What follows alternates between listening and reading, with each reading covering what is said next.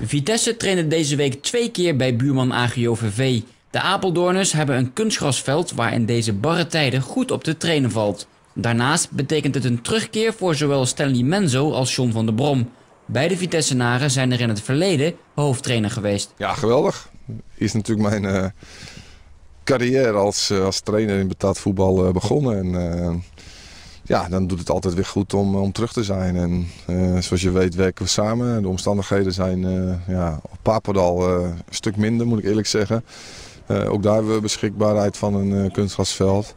Maar iets andere kwaliteit en vrij hard nog. Ook door het harde vriezen natuurlijk. En nou, een belletje hier naartoe. Ook omdat ik wist dat het hier wel ook sneeuwvrij gemaakt was. Was, was voldoende om, om gebruik hier te kunnen maken. Dus ja, zijn geweldig ontvangen. Hebben goed kunnen trainen. En dat is natuurlijk in deze periode, in deze week, is dat het allerbelangrijkste.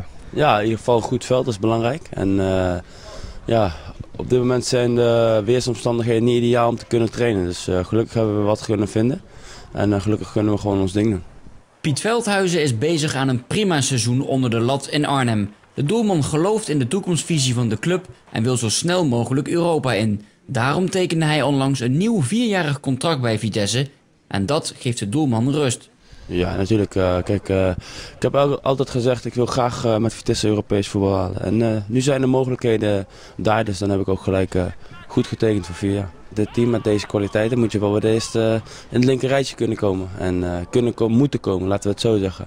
En ja, daar doen we alles voor, daar werken we keihard voor. En als je vandaag weer ziet, dan hebben we zoveel kwaliteit in de ploeg dan moeten we dat kunnen halen. Ja. Vitesse trainde vanmorgen met een vrijwel fitte selectie in Apeldoorn. Ook de aanvoerder trainde weer volop mee en dus liep Van der Brom er tevreden bij. Ja, goed. goed. Uh, is weer uh, terug. Kasia, die heeft... Uh...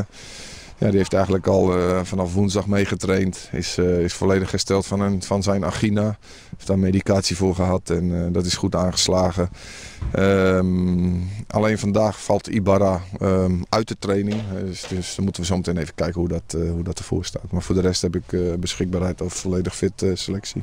Vitesse ontmoet aanstaande zondag de ploeg in vorm, Feyenoord. De Rotterdammers wonnen hun laatste twee competitiewedstrijden overtuigend tegen zowel Ajax als NEC. Ze staan op de vijfde plaats op de ranglijst met evenveel punten als de nummer 4 Heerenveen. Ik vind dat Feyenoord heel goed speelt. Ze hebben een heel jong elftal en uh, ja, daar is echt iets aan het groeien en dat zie je en dat merk je.